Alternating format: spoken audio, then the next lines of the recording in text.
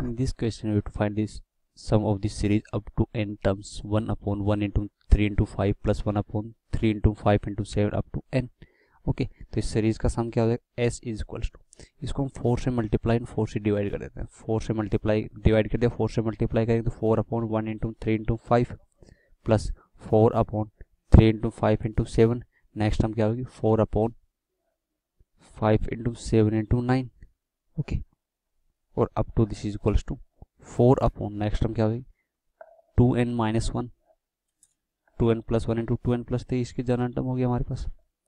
So this is equal to s is equal to one by four no so इसको हम four को हम क्या लिखेंगे? Five minus one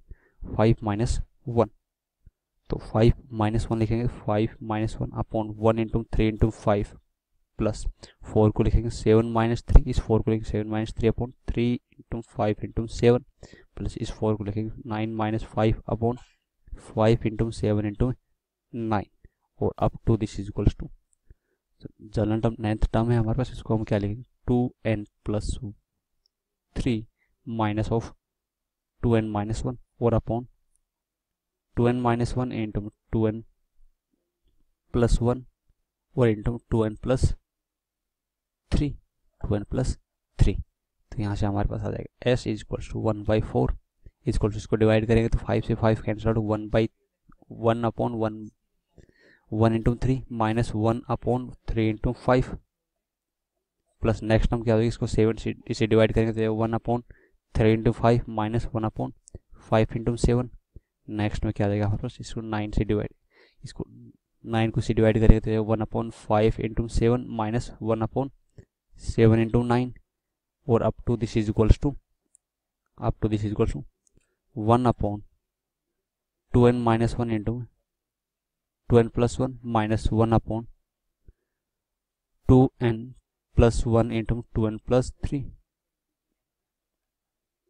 two n plus three तो S is equals to क्या हो जाएगा? एस इज़ इक्वल्स आ जाएगा हमारे पास.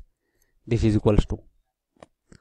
से one upon three into five से one upon three into five, one upon five into seven से one upon five into seven mean इसका हम सेकंड ब्रैक बैक इस ब्रैकेट का सेकंड टर्म इसके फ़र्स्ट टर्म से कैंसिल आउट होगा, इसका फ़र्स्ट टर्म कैंसिल आउट हो जाएगा तो जनरल टर्म क्या आ one upon n into.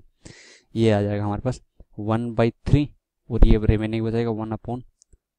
two n plus one into